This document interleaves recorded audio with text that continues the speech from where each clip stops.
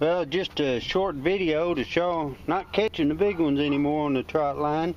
The last last few I got's a four and a half pound flathead moving around there, six and a half pound channel, and then one and a half pound channel.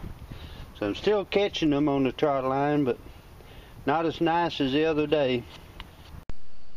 Well, just add the footnote, uh, my neighbor that I'm fishing with, he's got uh, six of them to clean. He's got two five pound flatheads, a 15 and a half pound flathead, an eight pound channel, a two pound channel.